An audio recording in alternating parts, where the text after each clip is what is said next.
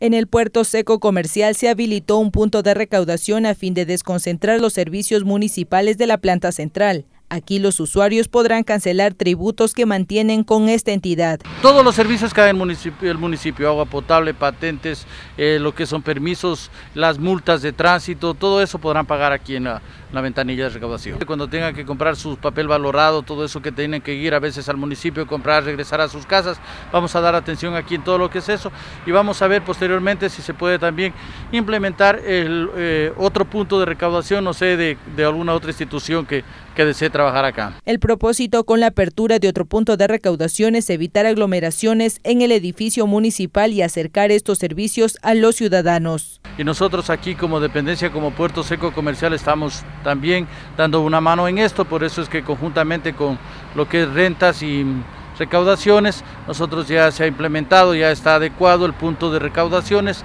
Eh, creo que en estos días, ya a partir de miércoles, jueves, empieza ya el punto de recaudación para todos los que es lo del sector de Belén, Carigán. La atención en este espacio será de lunes a viernes en el horario de 7 horas 30 a 16 horas. Una, una oportunidad que ellos tienen para ya no bajar al, al municipio, hacer las colas y, y así poder eh, pagar todos sus, eh, sus pendientes que tengan dentro del municipio. Con cámaras de José Luis Calderón para Sur Noticias, Jenny Maya.